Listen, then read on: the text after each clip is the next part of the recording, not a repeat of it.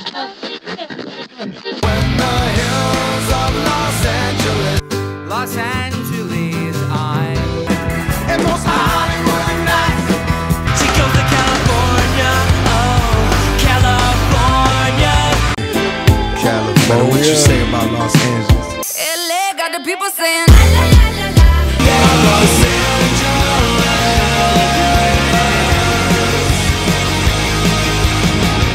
listening to Corner of the Galaxy on cornerofthegalaxy.com.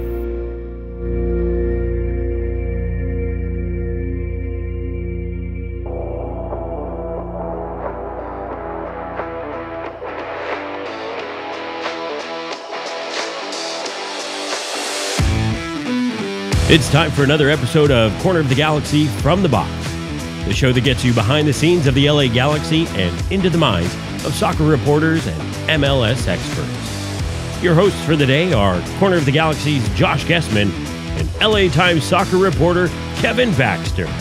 Let's start the show. Hello, everybody, and welcome to Corner of the Galaxy from the box on cornerofthegalaxy.com. Coming in to, to you on Monday, January 25th.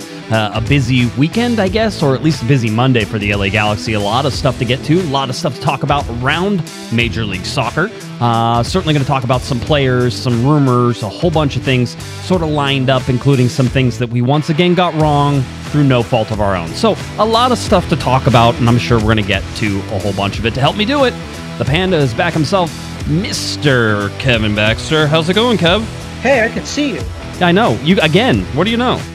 You know, we were talking earlier today, and you told me that this show is uh, right around number 300 in China, correct? Yeah, ranking ranking rise number 302 or something like that in sports.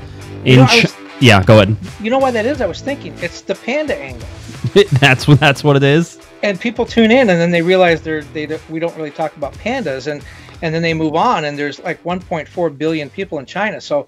By the time you cycle through all those people, we're still getting big audiences. So I think we should embrace it. Ni hao, everybody. Welcome to I- was of the Galaxy? yeah. Welcome. We'll just do it in in, in Chinese. Um, yeah, it- that's a you know that's a that's a dubious sort of rank. We don't even you know we don't hit the charts in the United States outside of like you know the top fifteen or sixteen hundred. I think something like that in sports.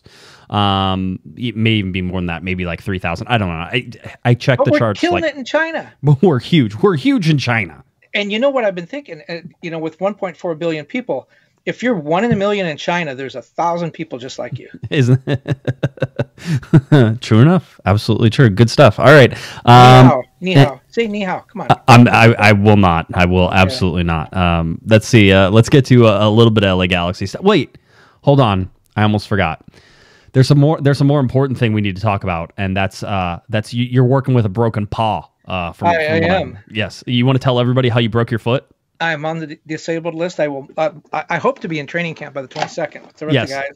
But um, you know, I didn't even uh, when I saw the the the guy stealing the money from those orphans, stealing No. their lunch money. No. and then I chased them in their No. Camaro. No. nope, that wasn't it. Okay. Well, I was running. I was running. It Yes. was early in the morning. I gave this woman a big lot of room. I went around her on the sidewalk to give her her COVID space. And then as I tried to come up the high curb on the other side, I tripped and fell and broke my foot. Didn't know it was broken. Uh, had to get go back home two and a half miles, run back home, running on the broken foot for two and a half miles. I think that might have done it in. Yeah, I was gonna say that's a that's a tough break, as they say. Um, so yeah, and the sun was in your eyes. I mean, how can you? How, you should have put on some eye black. That's what it should have been. You know, like the baseball players do out in the outfield. The that gets sun- The sun was in my eyes. It was early morning, but you're not buying the orphans and the milk money and No, I think you should. I think you should come up with a better story. So, by the way, somebody complained last time that we took too long to start talking about the LA Galaxy. So, I'm inclined to talk for the next 20 minutes about everything but the LA But Galaxy. okay. Yes, yes. However, Chinese audience. Yes, exactly. Um, however, I, we will uh, we will cede and then and and go over to the LA Galaxy now. Now let's start a little bit with some uh, some retractions, some corrections and retractions. I seem to be getting a lot of these lately. I had a nice correction corrections and retractions segment on Thursday's show, so let's start here. Um, the one thing I want to correct is that uh, on the show, I think we said that uh, Jalen Neal, uh, a new signing for the LA Galaxy, uh, coming from the LA Galaxy Academy, uh, that Jalen Neal uh, weighed uh, was six foot 140 pounds because that's what it had on the website and that's what I was told. Um, so that is incorrect. He's six foot three, 160 pounds, uh, which means a lot in both directions. Um, How so old is he though? uh, 17. See those kids? They just keep growing. They, He's they- probably taller and heavier right now than he, He pro- was when you get that correction. He is. He is. I'm, I'm sure. I'm sure that's what it was. And you know, um, he's just hitting that growth spurt. He could, he, if he keeps up on this pace, Kevin. I expect him to be about. Oh, by the time he's 22, he's going to be eight or nine feet tall. I He's going to be looking down on Zlatan. He is absolutely. Um, but anyway, uh, wanted to get that in and, and out of the way. A lot of um, it seems like the the the biometrics of Major League Soccer are about trying to get guys who um, trying to get their correct height and weight.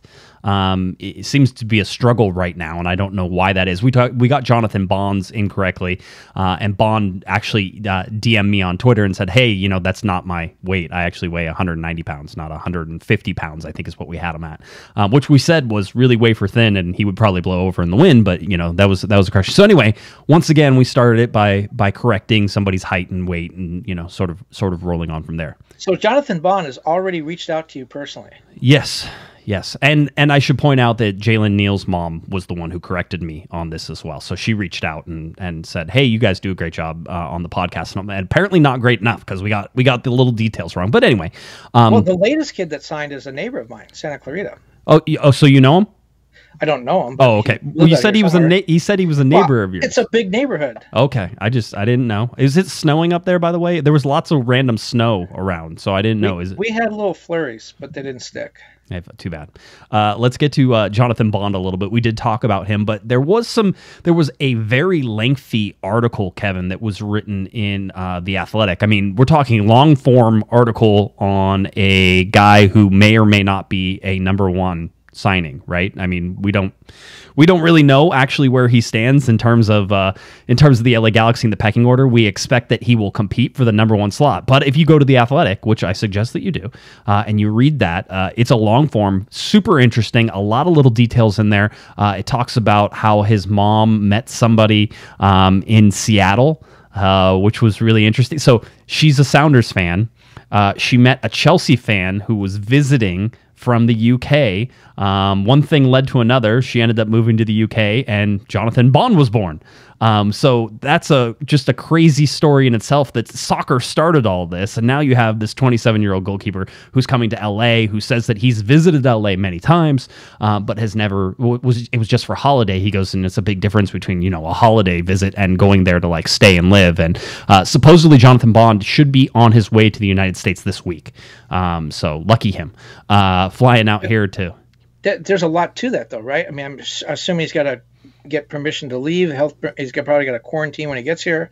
Yeah, I think there's quarantine. Um, I think anybody coming from the UK right now has to have a negative COVID test, and he's coming for work. So I imagine that he he he is essential enough to where they will allow him to come into the country, do all that stuff. So, um, yeah, it's a it's a process right now, as it probably should be.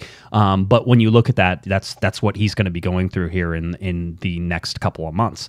Um, is trying to get acclimatized to LA, uh, looking for a place to live, all that fun stuff. Here is the interesting thing, though, is that in the athletic article, they did point out that his, what his contract is, and I think it's an interesting contract.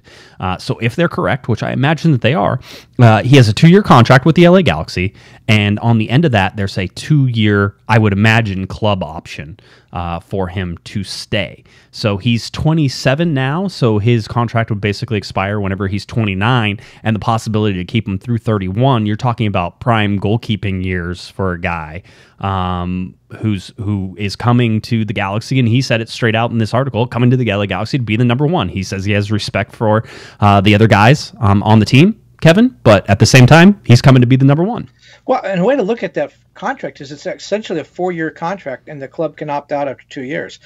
Jonathan Bond has no say in any of that. Yeah, yeah, it's it's it's pretty obvious that this is um, rightfully so is is a two year plus a club plus a club club options on that. And that athletic article also said there were there was other interest uh, throughout MLS for this guy. It's just not someone that's been foisted on the Galaxy. That there was other interest in this guy. He's been known. He's a known quantity. He, he is in terms of that there were other teams and they the the article points back to the summertime. So in the summertime there were teams approaching him uh, to try to get him to come to Major League Soccer and for whatever reason it just didn't work out. I think the summer he actually signed an extension with West Brom uh, to keep him there. Uh, the teams that were mentioned in the article: New York Red Bulls and uh, and Inter Miami. So David Beckham's team and the New York Red Bulls as well, looking at Jonathan Bond. And however it happened, the LA Galaxy got you know to the front of that line. Um, there's a bunch of hey, this trainer knows this guy, and they you know they ran into Kevin Hartman, and Kevin Hartman trained with this guy. It's it's a bunch of little weaves um, and and and nods towards different people and and connections. And so you should you should read the article. It's a long read, and there were people who were actually complaining about that. I you know I personally like the long reads as long as they're interesting. And this one had a whole bunch about West Brom and a whole bunch about uh, Jonathan Bond. But bottom line is. Um, I don't want to get it confused because from what I was told, and I'm fairly certain this is accurate, it was a good source, is that this happened quickly for the LA Galaxy, Kevin. This was not something that they had planned on getting. You know, they weren't like, hey, we're going to, we've been after this guy for two years. He's been on a list. They've been tracking other guys who are on this list who are domestic eligible players, but they weren't specifically targeting him. So whenever they said, "Hey, we need a goalkeeper, let's look at our list," and they said, "Oh, well, let's see if he's available." I'm told that that call to West Brom and the deal that hap- it happened very quickly. Um, it was not something that has been drawn out over the last two or three months. It happened within a week. Um, everything very quick. So that's how Jonathan Bond ended up on the LA Galaxy, and you can tell he seems super excited, and you can imagine he is, Kevin. I mean, you know, third or fourth on the down the, the, the pecking order on West Brom. He signed an extension with them whenever they came up and were promoted to uh, the English Premier League. So you know that's exciting for him, but at the same time, he knows that he wasn't going to get much playing time, some cup time, that that type of thing. And so in the article, he makes it clear that he knows he's good. Um, and he knows that he can start for the LA Galaxy, and that's not arrogance. It sounds like confidence from from what he's coming from, um, and that you know his teammates knew he was good, but nobody else knew he was good because he never got to play. Um, Well, aren't- you worried about his weight though? He's put on 40 pounds since they signed him. yeah, since they signed him, that's right. Well, Uh, you, you know, one, one way to look at that is is here's a guy that's 27. I'm sure his dream is playing the Premier League. Uh, it would be everyone's dream. Um, and he's 27, and he doesn't look like he's moving up the pecking order. Uh, he's facing the real possibility of his career ending before he ever really got to play f- as a number one guy on a first division team somewhere. Um, so you may look at it and say, "Hey, the Galaxy doesn't really measure up to Premier League team." In his mind, this is a chance to be a first division goalkeeper. Maybe in the back of his mind, he's thinking, "Hey, if I can prove myself, maybe I go back to England." Um, or, or maybe he just wants to wash his hands of the whole thing. But I mean, that age, a guy at 27 who thinks he's good, who, who has confidence, and hasn't had a chance, um, this is a great opportunity for him. Yeah, it, it seems that way. I'm. Uh, it's going to be.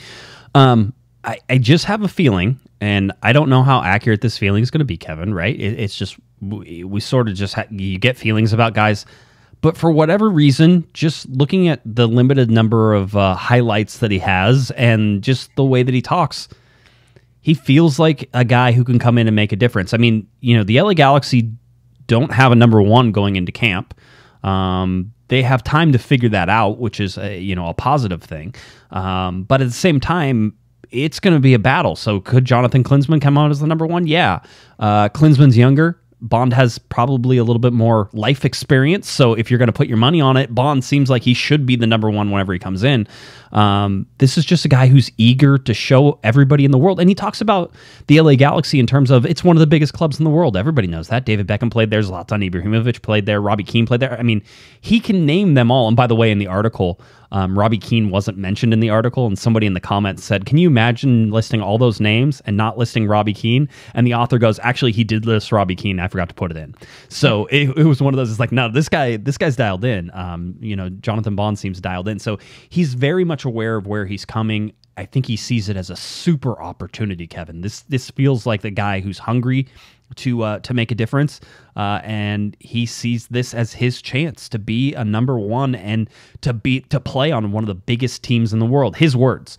So I- think that that is. Um, That's a fun way to sort of start things out. You just wonder what happens whenever he comes and you know they give up five goals in a game and there's not much he can do. I mean, you know, if if if the past is is sort of also predicting the future, the LA Galaxy have been fairly atrocious on defense and in goalkeeping, and there's been a lot of times where David Bingham, through no fault of his own, has given up four or five goals, you know, in a game um, because the LA Galaxy failed to to defend to defend properly across the entire field. So you wonder how quickly the biggest club in the world thing sort of melts away, and and Jonathan Bond realizes that uh, he's he's stuck on a uh, on a mid to lower level table, uh, lower mid to lower level team in the table, uh, and and the Galaxy have a lot to fix. Maybe he's the reason it all turns around, but for whatever reason, I feel confident with with Jonathan Bond.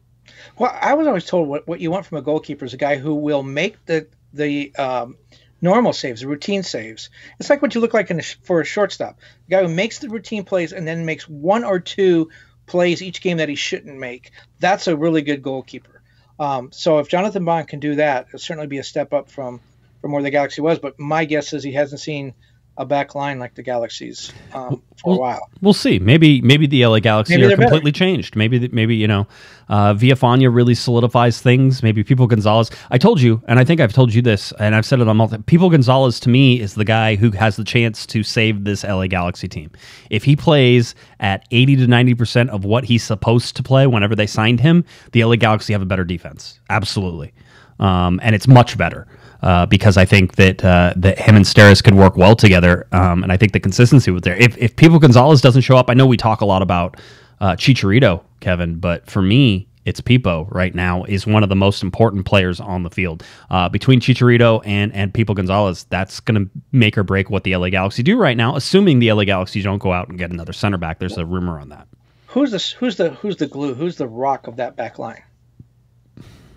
I mean, I'm going to say it's Dan Steres, and then Yeah, Pipo. that's why I picked too. Yeah, but, they, but I will tell you right now that you and I seem to be in the minority on that. I get blasted every time I say something about Dan Steres, and I quite honestly, he he's been the most consistent, not flashy, not great, but the most consistent, I think. Um, yes, he makes mistakes, but he's still been the most consistent. He and Sebastian Lletget are the only guys that go back to the last playoff team, the 2016. Uh, well, there's the Zlatan playoff team, but the last Bruce Arena playoff team in 2016. Um, you know, he has the cultural understanding. He has, uh, he knows what the Galaxy are all about. He has the time here with Dave Romney gone. Uh, he, I think he's become the the rock of that defense. Is he the best defender in the league? Is he going to make a, a best 11? Probably not. But I think he's the guy that that holds that team together uh, or that back line together better than anybody else. I mean, I I think the the counter argument, and I will play the the devil's advocate on this, is that uh, he has been in charge and in part of a bunch of defensive lines that have given up some of the most goals in in, in LA Galaxy history. Um, I don't think you can dismiss that, but at the same time, I don't know that the LA Galaxy have had a cohesive defensive plan since Bruce Arena left.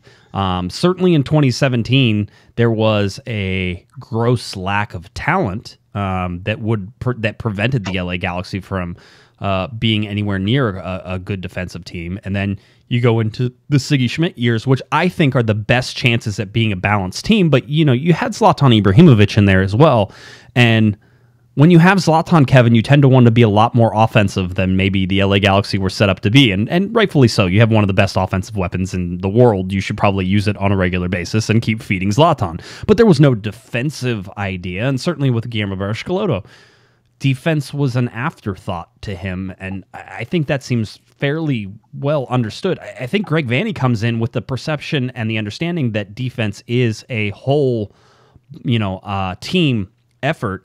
And uh, and certainly, I think you're going to see an improvement just with Greg Vanney. I know I just saw somebody saying, "Hey, fix the defense. Just replacing the coach isn't going to help." And part of me wants to say, actually, with a defensive plan in place, maybe the coach it can help uh, this defense and, and what it is. Well, here's an example of that. I mean, Dave Romney was a guy. I thought Dave was a great player, and I thought that uh, you know, I thought he was uh, you know, important part of the Galaxy teams that he played on. But he was a guy that never really was given a position, was never a starter. A guy who was maybe the first guy off the bench. Uh, you know, that was his position with the Galaxy. He leaves the Galaxy uh, a team without a defensive game plan, goes to Nashville and plays on the on the best defensive team, uh, first year team in the history of MLS, team that gave up less than a goal a game. Um, So uh, you know he, he's the same player. He just went to a place where there was structure, defensive structure. He didn't. There was no, uh, uh, you know, um, there was no uh, special thing that he learned when he got there. It was just they used his talents in a structured environment, and I think that's what you're talking about. If you take the players the Galaxy have and put them in a structured environment, they're going to be much better. Yeah, and if you put Walker Zimmerman in this as a center back of the LA Galaxy, they also get better. I I'm with you on your argument. I make that argument all the time. I am also very aware of the counter arguments. I think people think that I don't have understand counter arguments to all these things. I do.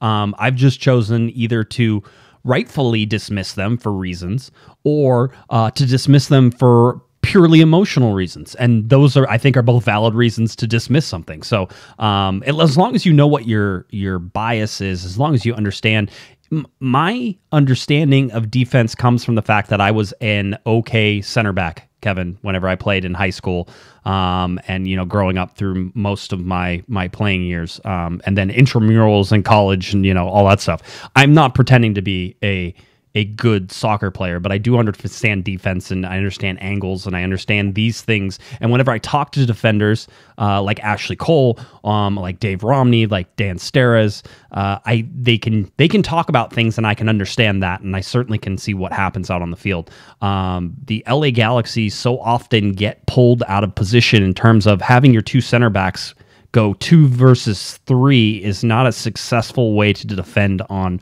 you know, counterattacks and, and on breaks. And whenever you move so many players into that offensive zone, that's what happens. You're asking them to go two versus three all the time. And if you do that on a regular basis, you're going to get burned. I think we we understand that. And that started with with Van Damme, I think.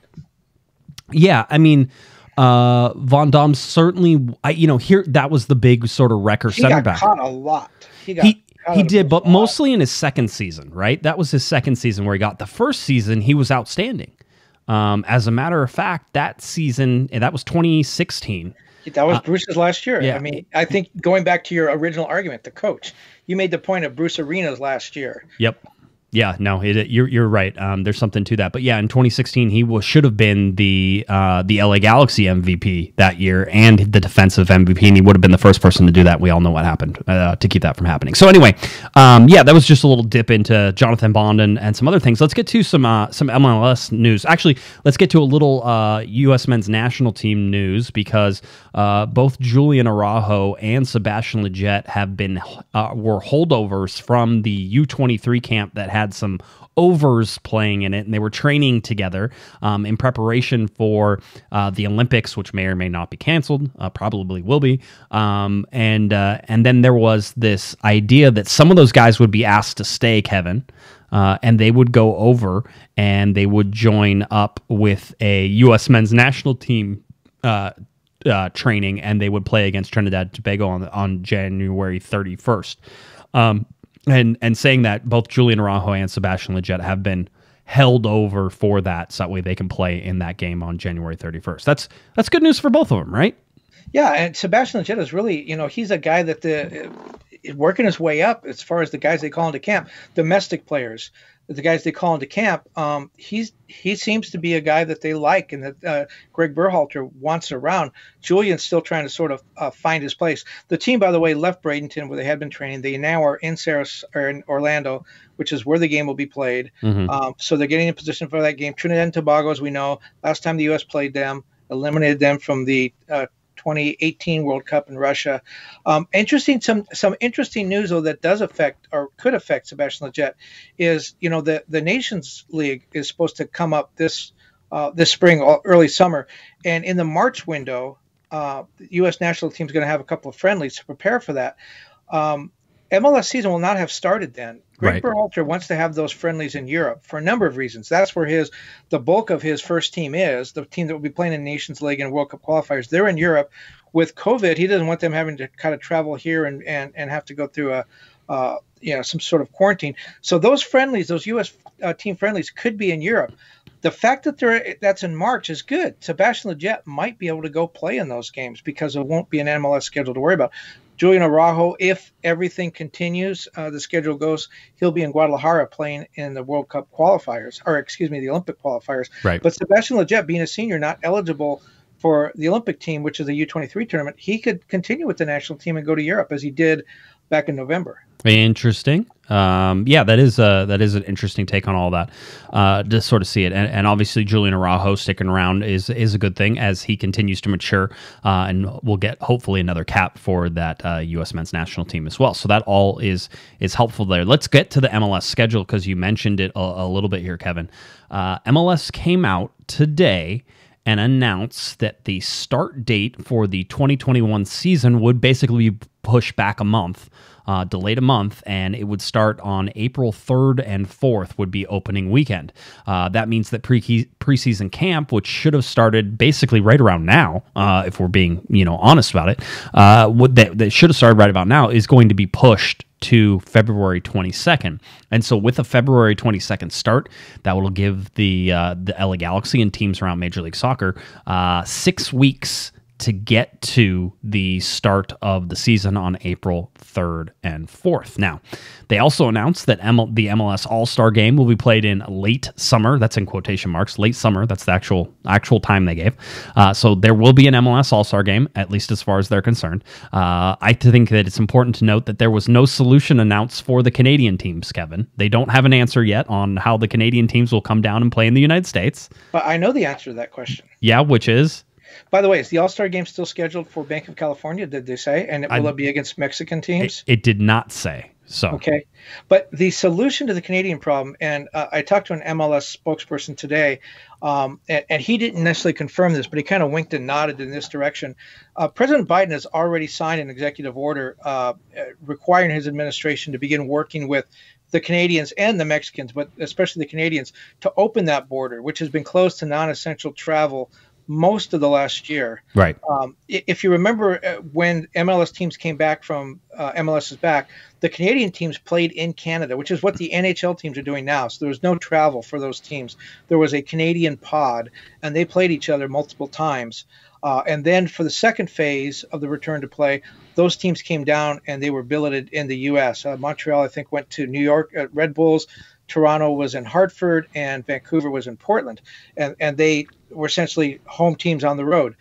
This time, MLS really believes that uh, this, there will be a solution that the Biden administration, working with Justin Trudeau in Canada, will have a solution in place by the time the regular season starts. Certainly, training camps really won't be an issue. I think the teams will train in Canada Right. uh, at their home base. But when the regular season starts, you know, we've got a lot of time. And and I should say that you and I have talked about this date. We talked about the season being pushed back for months. And, Right. and a lot of people said, no, no, Don Garber wants to start on time.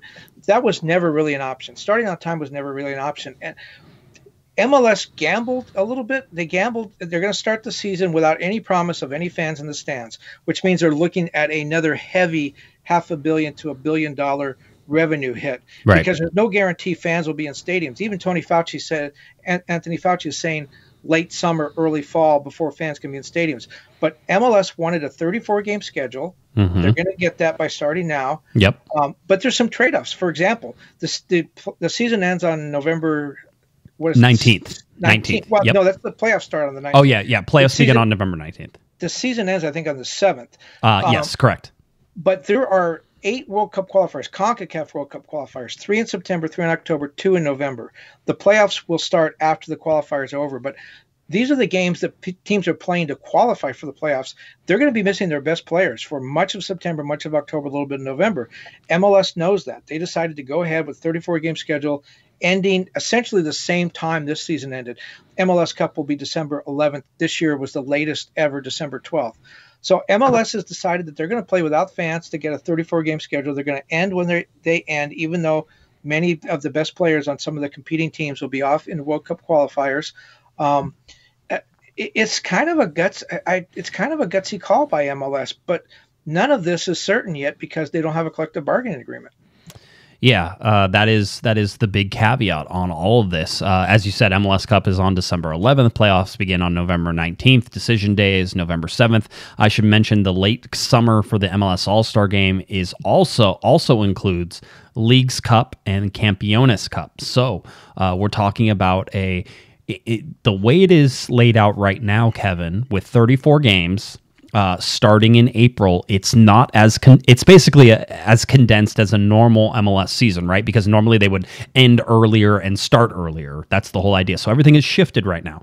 But with COVID restrictions, with all those, I think we can expect that some games will be moved, some games will be canceled, some things will happen um, that will basically mean that some of these things will get pushed together. And then you have what I would imagine the U.S. Open Cup wants to come back and be played again. I imagine that you have, you know, the Leagues Cup and the Campeones Cup that are all, all need, I mean, you have uh, World Cup qualifiers. You possibly could have Olympic qualifiers. So Gold Cup? Gold Gold Gold Cup? I mean, all of this stuff is starting to pile on, and to understand the condensed nature of the season is to understand all of those uh, competitions need to get played. You know, in 2021. So, um, a lot of big question marks, and you talked about it. This is all done right now, and it's an interesting the announcement. One is we, you and I expected there to be a delay. Two is that if you're a cynical person, you would say that this announcement, without a CBA signed and agreed upon, and yes, the MLSPA did come back and actually answer the MLS owners' uh, CBA. They came back. Now, we don't know what that answer is. We don't know what the proposal was, but they are talking again, and there are discussions going on about this. Um, at, at, you know, at, at, throughout this time, and Major League Soccer in, and Don Garber had their letter to the fans, which was an open, uh, basically public negotiation for the CBA and putting shame on the MLSPA, and the MLSPA even like you know went on Twitter and said, "Add us next time." Um, so they were very well of what was going on. So understanding they put this off. If you're a cynical person, Kevin, you're saying that this is MLS's way of saying, "Well, I mean, we're going to start on April first. MLS Players Association. So you guys probably need to negotiate a CBA with us and get this done. Otherwise, it's going to be your fault that we don't start in April. Um, if you're cynical, that might be the way that you're looking at it. Uh, we know that there's a deadline coming up on January 28th, which is when MLS said we're absolutely not negotiating past that. That is when we have to have the negotiations done. The CBA has to be signed by that. That was invoking the force majeure clause, was basically allowed it to go through January 28th, which is coming up this week. Uh, they said we're not going past that. Well, with a preseason that now doesn't start until February 22nd, Kevin, I would imagine that the hard deadline that we're not going to negotiate past is going to slip. Um, and now they have until February 22nd. But to me, this feels a little bit like MLS putting the cart before the horse, although they certainly did need to announce something to fans because it's that time of year. This is when you normally announce what is going to happen with the season. By the way, I did talk to the Galaxy. There were no plans. Uh, they don't even know what the schedule is. They don't know who they're going to play where. You and I were talking about that earlier. Is it going to be a pod system where they play only local teams? Is it going to be travel? Oh, by the way, all travel will be by charter until Yep. further notice. Um, so there, there's the possibility of distant travel. I assume this is what that means. But yes, there, there is that that uh, deadline of January 28th. I think by announcing that preseason camp will start on the on February 22nd, that just basically means that's the real hard fast deadline. They can continue negotiating past January 28th if both sides want to do that. The league did come out and say today that it is prepared to neg- negotiate around the clock to get something done. Now, I- I'm sensing that public opinion seems to be on the side of the players, and, and that may be why the league is so boldly and badly overplaying their hand. If you look at what the league said to the players, first of all, they forced them into a, a CBA last summer um, to get the MLS is back tournament going. They really didn't negotiate that. It was take it or leave it. And the players swallowed and took it. I think they thought they were going to get a little bit of, uh, um, you, you know, they were going. It, it was going to be appreciated in these new talks, and it and it hasn't been what management came to the players and said is you guys will get 100% of your contracts this year. That that shouldn't be a negotiating point. I mean they know eh, they signed a contract that said i am going to get paid x amount of money. Now the players did agree to give up i think it was 5% of their contracts maybe maybe it was more 10% but they did agree the players agreed to give up some of their money to help the league with its financial burden last year. And what does the league do? It comes back and says hey you know what we're going to give you the money that we owe you. That's not a negotiating play. Right. That's not uh, something to negotiate. We're going to give you the money we owe you, but in exchange for us doing what we already said we were going to do and we're contractually obligated to do, in exchange for that, we want to freeze the salary increases, which we, the league, already agreed to. We want to freeze those for two years. Right. I mean, I don't really think that that's a negotiation. That's like, hey, I'll give you a nickel for that dirty quarter you have. That's not negotiating. It's trying to take advantage of it. And I think the players are to the point now where they've kind of had it up to here with this stuff. Yeah, I mean, the, I- I can see that from that direction. I, I, I think my counterpoint, if you're looking at this, is that there are clearly going to be financial hurdles for Major League Soccer again. We know that they lost some money, and you, listen, I'm not going to spout off their billion dollar number anymore because I think that whenever you look at it, that's they certainly use the PR battle whenever they use the billion dollars that they lost that also included projected revenues um, of those things. So, uh, you know, but there is going to be some you know, fans are not going to be back. Now, certainly, eh, we are having this discussion in the Discord, but when you look at, you know, fans where they're like, well, fans aren't going to be back. Why are they going to start in April? It's like, well, in some areas, fans are going to be back. They just probably won't be back in Los Angeles. Like the limited number of people going to some of these games. You saw the the women's the U.S. women's national team game in Orlando. They had player they had fans there in limited numbers. You know, spread out that type of thing. Um, and I think you're going to see that through most of the league. Are you going to see that in California with the San Jose Earthquakes and with LAFC and with the LA Galaxy? Or are you going to see it in the Pacific Northwest with Seattle and Portland? I think those are harder sells. But are you going to see it in Miami? Are you going to see it, you know, in uh, in Houston? Are you going to see it in Austin? Are you going to see it in Dallas? I think that when you look at, you know, just the histories of those states and already having limited number of fans in some of these areas, which – in my opinion, up to a certain point, I'm okay with. I don't, you know, I think if you're outside uh, and you're spread away from people and you're wearing masks and there aren't a whole bunch of people, I mean, we're talking about extreme limited uh, uh, attendance here, um, that I would see, we always consider risk. I consider the risk rather low. So, uh, you know, I don't have it, but if you're looking for that in LA, Kevin, that's where it, you start to sit there and say, okay, well, fans probably won't be back in the stands in LA until early fall at the earliest. Um, and so there's going to be some hits, and it's going to be hit across Major League Soccer. So the owners do are going to lose money again. Um, I think that their negotiating tactic, though, of saying, well, we're going to make it up, you know, saying let's extend the CBA by two years is basically what what it comes down to.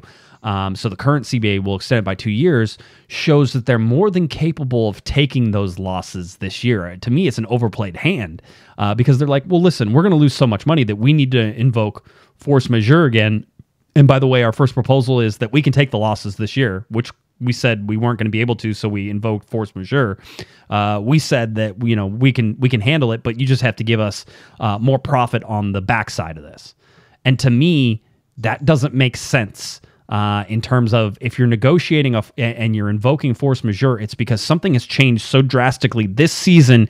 You need relief this season, not we're going to eat it again and then be able to come down the road and just make money off the backside. They've clearly done the analysis on this, Kevin. They clearly understand they're going to make money on that deal and they're okay with it. They're okay with taking the losses now. Well, another thing is one of the things they want to do is extend the CBA out five years. That would take it through the 2026 season. Where the, that's a problem potentially for the Players Association. Is one of the things that they want to talk about. They, the, the league wants to take back the money they had offered in sort of a profit sharing model with the new TV contract. They were going to share some of that money with the union. Now they don't want to do that. They don't want to share all of it. They want to extend the CBA uh, and, and, the salary, you know, each year uh, salary cap goes up and the, right. the, the, minimum wage goes up. They want to delay that for two years. The, the, interesting thing with that is my understanding is that would take that through the 2026 season. So the new CBA would not start until 2027. What happens in 2026? What happens is we have the World Cup here in the United States. As right. we all know or can predict, soccer viewership, soccer interest is going to go through the roof. The league is asking the, the players not to share in any of that revenue growth for that year, which could be astronomical. The players would leave a lot of money on the table if they're not able to enjoy the, the, the profit sharing. Uh, that's a bad word, but the, the revenue increases that might be provided uh, in the 2026 season. The uh, ownership doesn't want to share those with the players anymore. Well, I want to go back too, and I know you touched on it, but for the 34 game season, uh, we don't know what that means in terms of where they're going to travel, who they're going to play. Uh, there's no schedule right now. But if you go back to the 23 game season that we just played in the COVID era, it was regionalized, right? You played. Yeah, I think the new schedule is 17 at LAFC and 17 with LAFC at at, at, at, yeah. By the way, I was that's that's sort of my joke is I do not need to if it you're playing 34 games and it's going to be regionalized again, you're going to be playing LAFC 10 times and San Jose 10 times, and they're going to kill all those games. I mean, you, you, hey, those are fun games. Uh, when you play it four or five times, they're not fun anymore, uh, and it's just like okay, next, can you play somebody else? I understand the COVID restrictions. I understand the necessity of having of needing to do that. But if you're going to go in, Kevin, and play 34 games I'm expecting it to be a real season. Um, I'm not expecting it to be regionalized, and if it is regionalized, that region better get a heck of a lot bigger. Uh, because if you're going to play the same teams over and over and over again, uh, they're going to lose their edge on that. It'll be too much for a 34 game season. I know that's crazy because I'm starving for soccer just as everybody else is during the break, and we just learned we're going to have to wait another month, which I think most people are taking okay because we expected that it might be longer, and it still could be longer. There's potential in this to back that up another month, no problem. Uh, if if things aren't don't aren't going well, uh, if you know COVID cases continue to surge. I mean, uh, the Cactus League minor league base or the uh, the summer league baseball, basically the spring training baseball, uh, that is the Cactus League in Arizona, wrote a letter to Major League Baseball basically and said, "Hey, we're really excited for this uh, this spring training to start, except for Arizona has a whole bunch of COVID cases, and we think you should delay that start." So those are the types of things that you could see with Major League Soccer as well. Is understanding, hey, yeah, we're going to start. Oh, by the way, it's really bad, so no, we're not going to start, Well- and we're going to push backwards. we won't know for sure until we see the schedule. But my guess is they're not thinking of that regional schedule. And and another place where the regional schedule is bad is if you look at the six West Coast teams, it'd be Vancouver, Seattle, Portland, uh, San Jose, LAFC, and the Galaxy, right? Um, four of those teams made the playoffs last year. The Galaxy and Vancouver, the only two that didn't. So that makes the West region, if you want to call it that, the region, very tough. Then you look in the Midwest. If you're talking about Colorado, Cincinnati, Nashville, um, uh, you know, teams in there, not not so tough. You know, Cincinnati is not, uh, you know, a strong team. Columbus, obviously, very good, but so it, it's unequal. And then you look at records at the end of the season. You try to rank teams and who gets in the playoffs and who doesn't, and it's unfair. I don't think MLS would have sacrificed, as we talked about, to have a 34 game schedule if they didn't want to make it a real 34 game schedule. And playing LAFC 17 times is not a real schedule. So I think when uh, when MLS said, okay, we're going to eat it again, we're going to we're going to start on time and play a bunch of games without fans. If they wanted to have a 24 game regional schedule again, they would have waited till June. Yeah, uh, you're, you're you're not far off there. Uh, by the way, 13 teams in the Western Conference this year because you add Austin FC to the 12 teams that were in the Western Conference last year. That means that Nashville stays in the Eastern Conference again. Uh, they have 14 teams in the Eastern Conference. All right, so 13 in the West. Be, and there'll be one team that'll have a bye week every week because it's an uneven number of teams.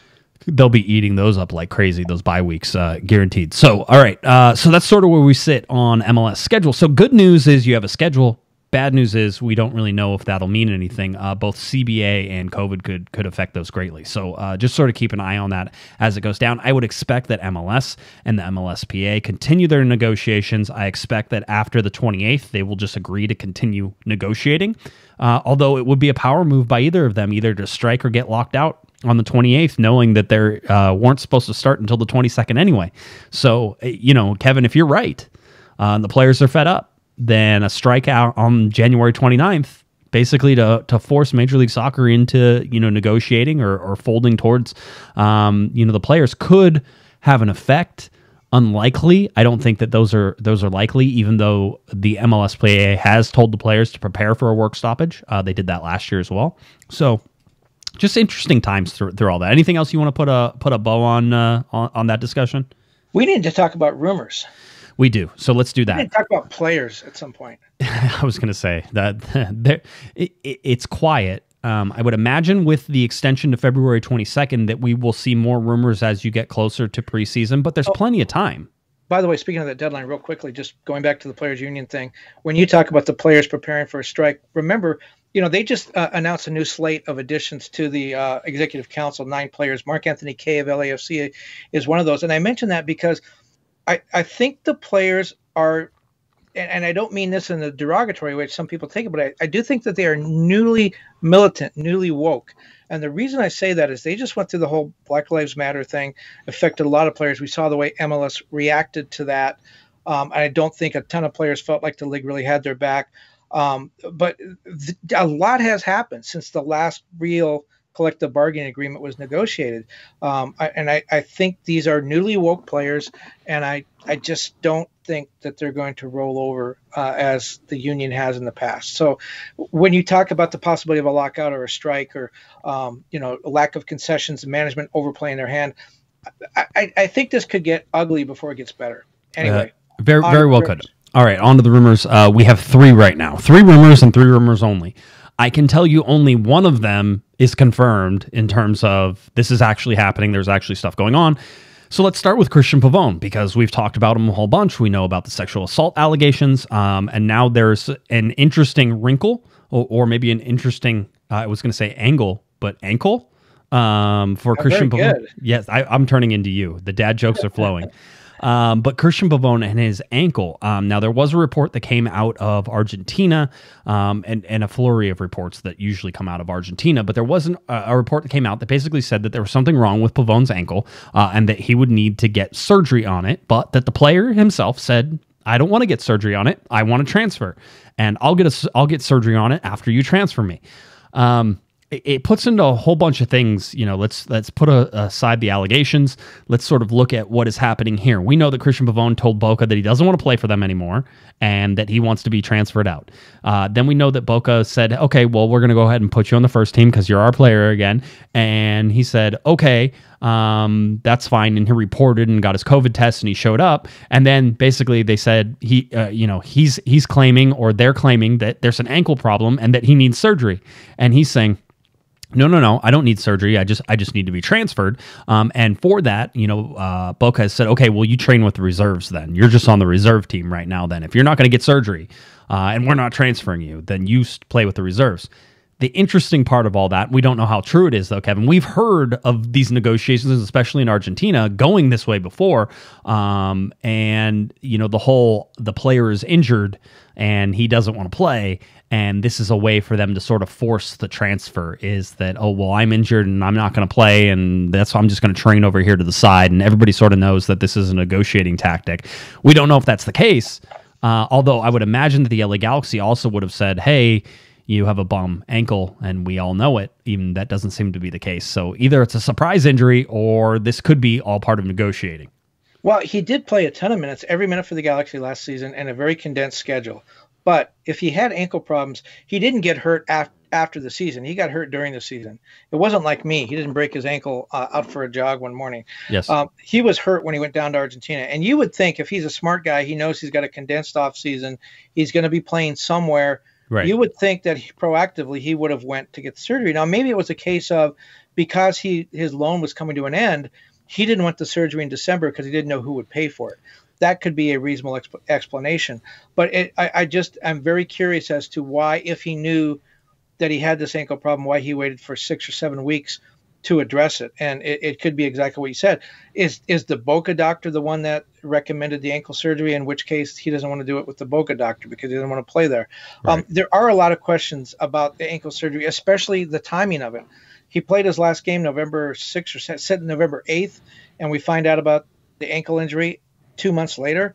That's pretty interesting. He's been hobbling around for two months and no one said anything about it. Yeah, it, it- again, timing and and everything else that we've sort of seen uh, with him. It's all interesting. I, I don't know where I land on all this. Uh, his rumor right now, he's getting four out of five stars only because we know there's interest from the LA Galaxy. We know that they're negotiating. We know that all those things were true at one point, and whether or not the Galaxy have decided to walk away yet, we don't know, Kevin. Um, but as of right now, we're still considering that Cristian Pavon, at 24 years of age, is is the LA Galaxy's uh, left wing or right wing player uh, if they go out and get him and retain him, and if not, the LA Galaxy have an open designated player spot. So um, those are the negotiations going on with with Cristian Pavon. Let's uh let's go to the to the next rumor because it's one you and I have talked about. We have theorized. We have made it so that way it could make sense if they if it happens. Um, but Sebastian Giovinco, uh, again, there were reports that came out today. Now the reports that came out today were from a I will just say a- questionable source. All right, so um, I don't know how much we want to buy into those, Kevin, but basically, there's another player for um, uh, Al Hilal who has come in and is taking minutes from Christian uh, from Christian from Sebastian Giovinco, uh, and that could be an impetus for the player now to move to the to the states because he's not getting as many minutes as he used to. So at 33 years of age, the midfielder slash forward slash central attacking midfielder, however you want to sort of do him, could possibly uh, be coming to the LA Galaxy to team back up with Greg Vanney. And you and I have theorized, Kevin, that might mean a TAM signing. That might mean a designated player signing. It's probably in between those two, but that would be something that that might be expected. It, it at least makes some sense in terms of the players and everything else. Well, and he could take that DP spot if Pavon doesn't take it. To me, it makes a lot of sense because he has a history with the manager. The manager knows him. He likes him. He's succeeded under the manager. He's in a league now, which I think in, in you know in the Middle East, I think be comparable, probably lower uh, in, in terms of uh, uh, you know competitive level than MLS. So he wouldn't be taking a huge step down. He would be coming to a place where uh, he's going to be compensated fairly. The the, the, the uh, you know lifestyle is nice. He knows it. He knows the league. It makes sense to me for a whole bunch of reasons. And I believe his salary there in I think it's Saudi Arabia, right, where he's playing. Yes. His salary is about 4.4 million. So that's not that's not you know Messi level. That's that there's a bridgeable gap there. Whether you sign him for an extra year and pay him over that time as they did with Zlatan, whether again it's TAM money, whether he gets a, a you know a DP spot, he'd be coming in making less than Pavon would make. So uh, there are a lot of ways that I think that this makes sense. I think the player is motivated. I think Vanney would would like to do it, and I think the Galaxy could certainly use a player of his skill and his position. It would be a, a really good fit all the way around. The the the biggest hurdle that I see right now, Kevin, is the fact that we can get nobody to confirm that the LA Galaxy are even interested. And as a matter of fact, it seems to go the other way, which is that they're they're not interested. At least from the people who are saying, I, you know, I don't know anything, haven't heard that type of thing. So it, it, you know, I gave it another star. It was a two star rumor. I gave it a three star rumor. The only reason I did, well, there were two reasons. One is that it has sticking around. It's not going away. And so sometimes that means something, sometimes that doesn't. Um, but when we look at that, Kevin, I can sit there and say, okay, maybe this is, it at least makes sense. The other reason it got three stars is because I was bored on Monday. And so I decided to add another star. And Well, that's I, a good reason. yeah, I was gonna say I get to make up the reasons for stars. It's my it's my chart. It's my rumors. It's all that stuff. So I, I get to make up the reasons. So it goes to three stars. So um, still a possibility. I'm not gonna say it's not going to happen, but I'll tell you that the sources I have seen, Kevin, so far, have not led me to believe that the LA Galaxy are are actively trying to land Sebastian Giovinco. And saying that, I'm sure they'll sign him tomorrow or something like that. Yeah, sometimes these things just fall in your lap. I mean, again, this one makes so much sense. Again, Jonathan Bond, they didn't even that wasn't on the radar until a month, a week later, and it was done. Right. Um, where do you put? How many stars you give me to the New York Times? to the New York Times, Yeah. one.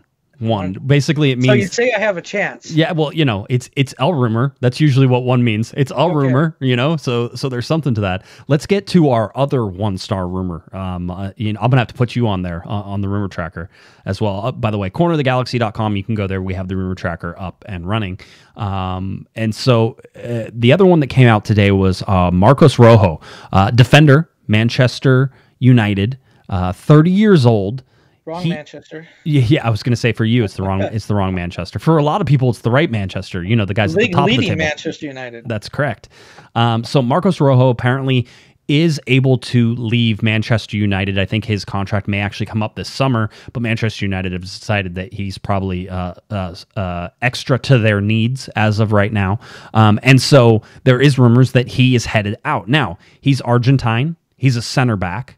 Um, if if Guillermo Barros Schelotto was still coaching the LA Galaxy, I would be like, this this is lining up perfectly for him uh, to go ahead and get get Marcos Rojo. If you go on transfer market, Kevin, his market value right now six point six million, high, but understanding that once he leaves Manchester United, that that transfer that that market, uh, his actual worth is probably going to come down considerably. So if he would go somewhere else, you would imagine that his six million dollar market value would probably be in the three to four million dollar range. If you're talking about three to four million dollars, and that's the market value, that's how much you would have to like pay Manchester United to get him. That's not necessarily his salary or anything else.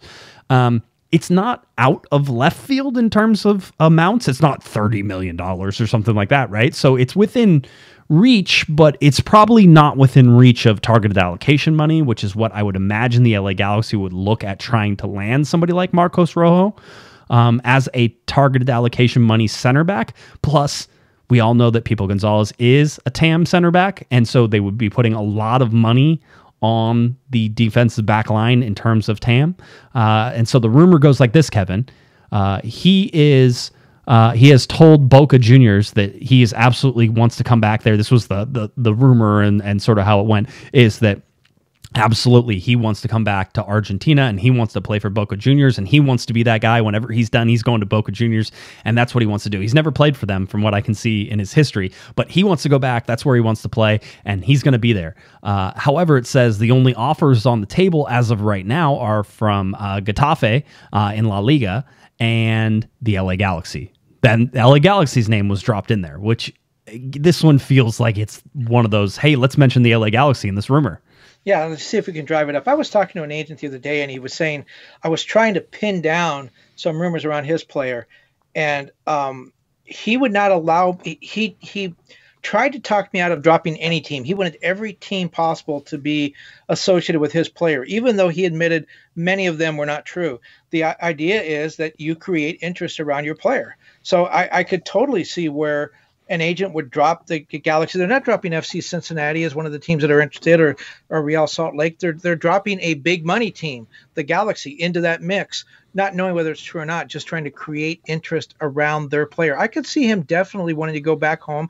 If you're going to leave the Premier League and you feel like you know your career is taking a different direction why not go back home where you're comfortable where your family is i totally get that the other thing that makes me think that this rumor is probably not true in the current form is the salary you mentioned or, or, or his his worth Right. i think omar gonzalez was about 1.3 1.4 somewhere in there uh, his high end with the galaxy and i think at the time he might have been the first or second best paid defender in MLS history. I don't think any defender in MLS has gotten more than 1.8 or even 2 million, with the possible exception of Bastian Schweinsteiger, who came over as a midfielder, a World Cup champion in Germany, wound up playing uh, defense. He wasn't signed as a defender. He wasn't paid that money to be a defender. So bringing a guy over as a defender and playing paying him that much money, that just doesn't fit the way MLS has traditionally done things. And I don't think it fits a Greg Vanney team who they will be strong on defense, but I don't think it's a team that is built around defense. I think it's an attacking team,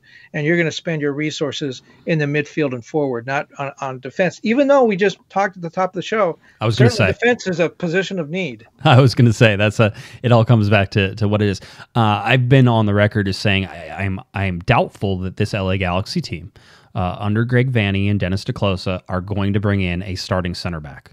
Uh, I don't think it's what they need, nor do I think it's what they can afford. I think there are other positions of need that are more important. And you could claim, again, I am aware of the counter arguments. This team has given up more goals than you know any other LA Galaxy team. They bleed goals. How would you say that a center back, another center back, because they already have center backs on the roster. They already have backup center backs on the roster. If you're asking for anything, I think that they could bring in one borderline starter center back that might fight for some minutes or push some people or be there in terms of injuries sort of as a backup. I think you need four center backs. But you look and you know with uh with Jalen Neal and um uh, what was the other guy's name and I can't it's Furkanis and I, I'm saying it wrong so that's why I'm trying to go back to my uh to my roster uh whenever I look at it but um uh Furkanis uh That's the Santa Clarita guy. Don't- Yes, yeah, that's your neighbor. Your neighbor. Yes. Yeah, uh, with Furkranos and and and Neal, you look and they're both basically center backs. They are depth at that position. Now, I don't think they're going to spend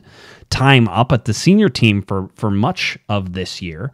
Uh, but having said that, uh, I think that you can expect those guys to at least be in the uh, conversation. So, I mean, the LA Galaxy are, are pretty well stacked in that in that defensive side on those center backs. Bring in a backup CB that you know has some MLS experience. Yeah, that makes some sense as well.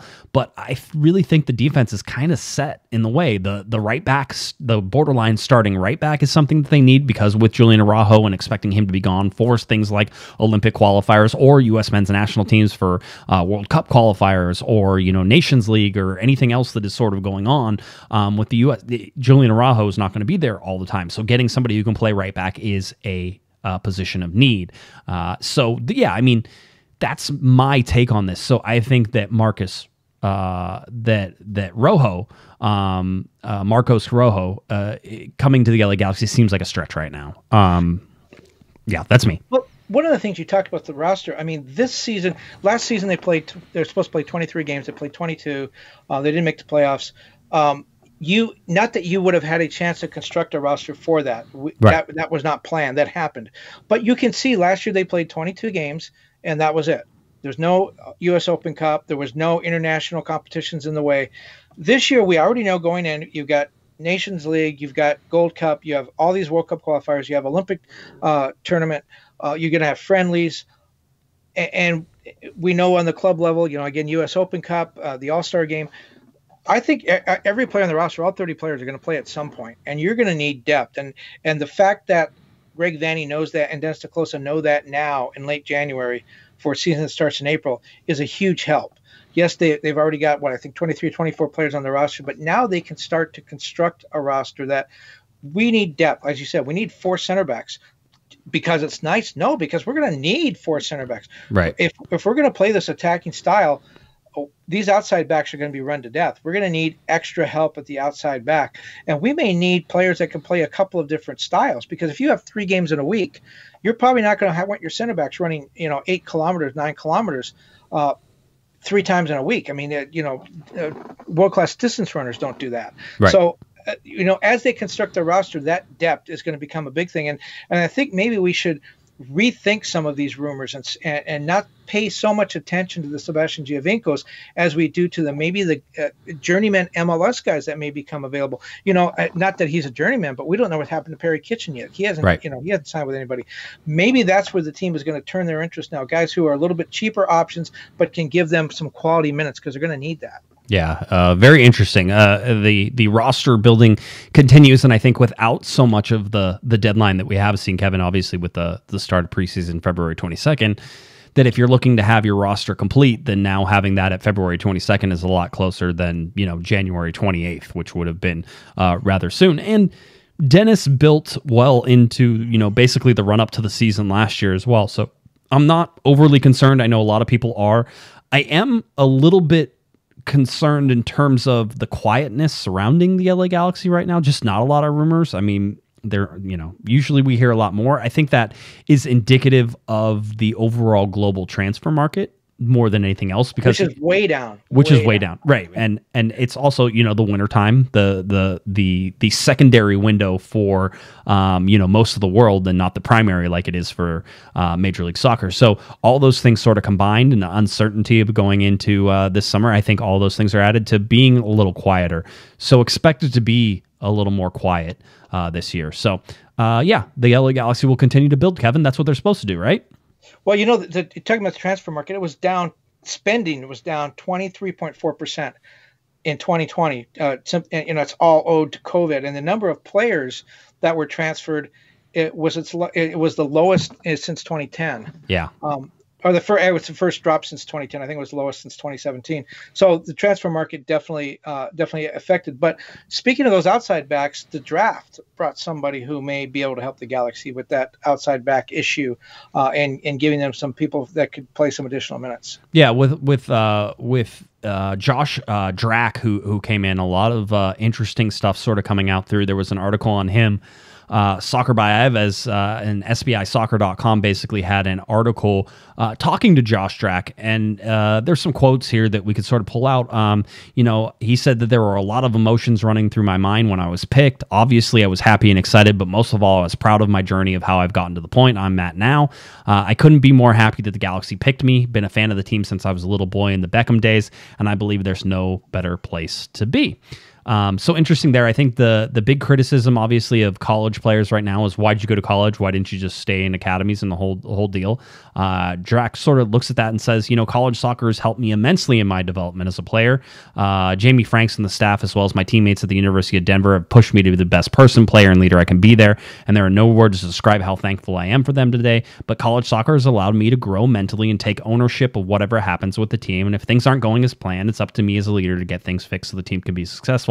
He's really talking about his maturity and how uh, this is a kid who went and played with, with the Timbers Academy whenever he was in high school. Uh, got to train with them in the Pacific Northwest for a little while, and he talked about how he wasn't ready for that. Um, he went up there, he was immature. He said he, you know, he missed, he was away from family, he missed his family. Like all these things were were clear to him that he was not, you know, mature enough to sort of make that step to be the, that professional soccer player at that time when he was in high school. Um, and so his argument here is that college soccer has allowed him to develop. I think we dismiss that a lot because the college path is um, almost seemed as uh, unnecessary now, Kevin, and and certainly I am guilty of this, saying that the MLS Super Draft is largely a, a throwaway, and I think the odds are completely against somebody like uh, Josh Drack coming into the LA Galaxy and being successful. It, it just hasn't been proven out very many times in recent times with the LA Galaxy. Is you get young player coming out of college, and all of a sudden, you know, they're they're effective. Uh, we haven't seen that. I think Tommy Meyer might have been the last one. I'm waiting for anybody to try to correct me, but that was 2012 when Tommy Meyer came in and ended up being a you know a center back player for the LA Galaxy and ended up winning an MLS Cup uh, with the LA Galaxy. He played that position, so.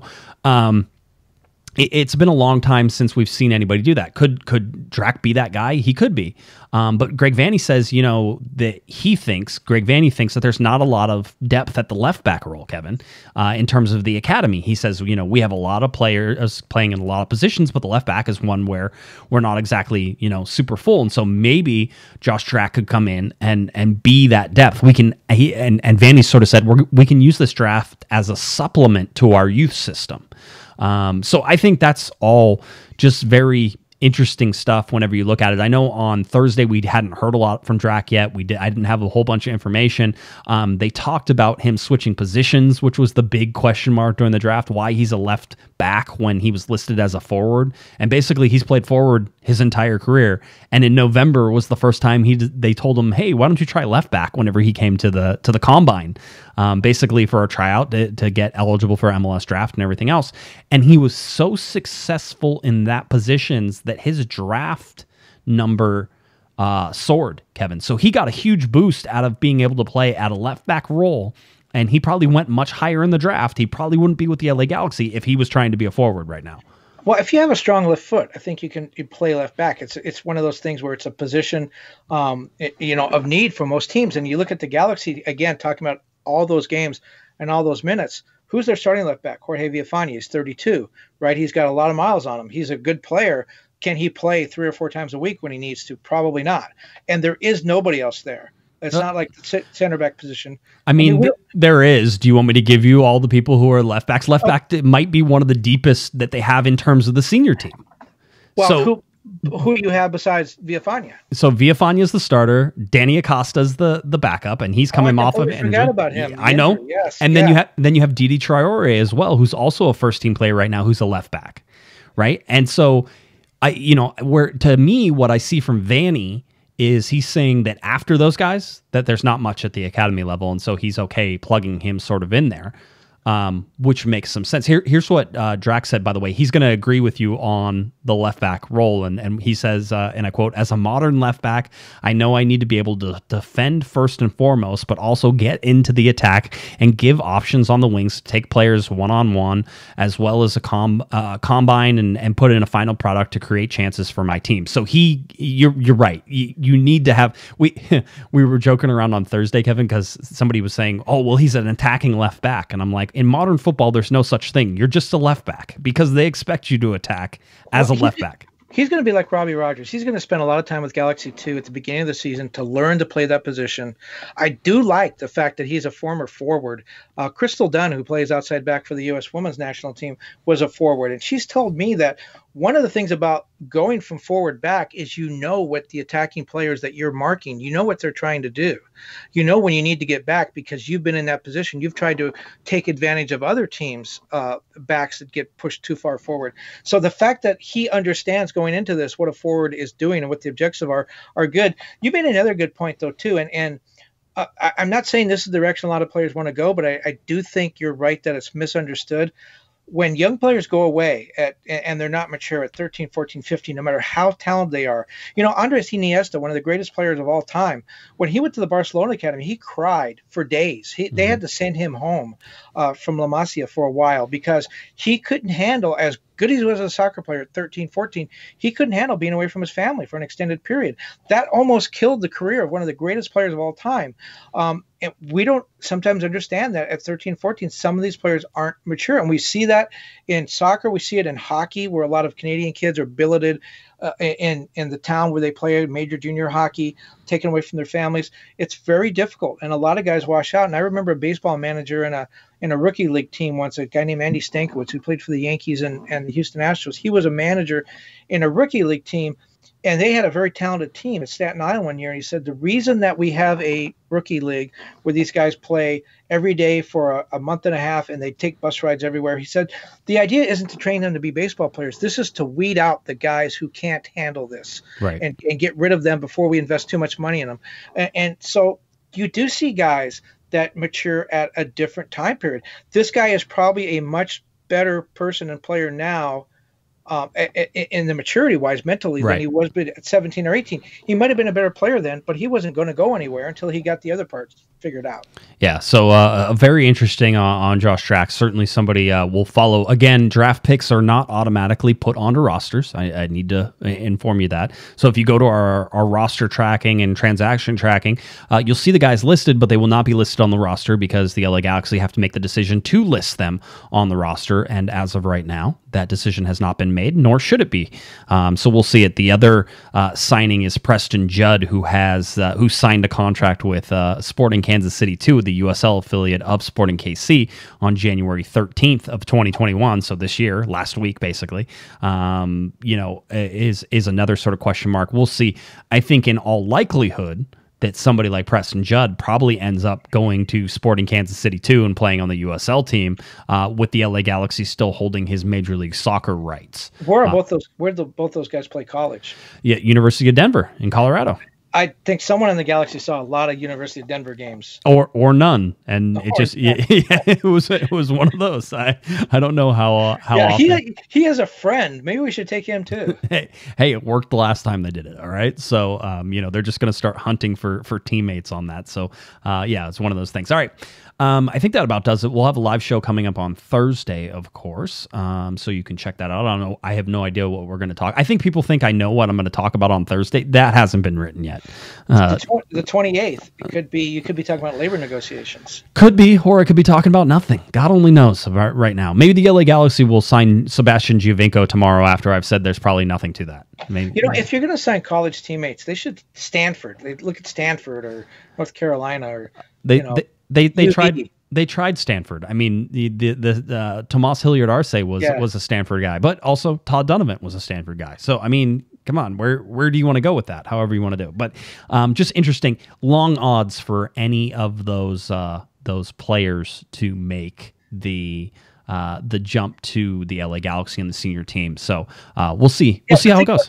Would you rather be trying to make this team as a left back or as a or as a forward? Yeah, left back. I mean, we've we've gone over that many times, so that's it. All right, Kevin. Anything else you want to get to uh, before we're? I gotta go. I gotta go wash my leg or something. I don't know. I- change my change my cast. Something. I gotcha. All right, sounds good. If you're looking for Mister uh, Kevin Baxter on Twitter, it's at kbaxter11. Head on over to uh, let's see, uh, the LA Times. That's where you write. I remember now. New LA York Ti- Times. No, that's not it. Uh, but head on over to the LA Times and you can find Kevin's writing there. He's uh, covering soccer, U.S. Women's National Team, U.S. Men's National Team, all the soccer in Southern California as well. So make sure you do it at kbaxter11, latimes.com. All right.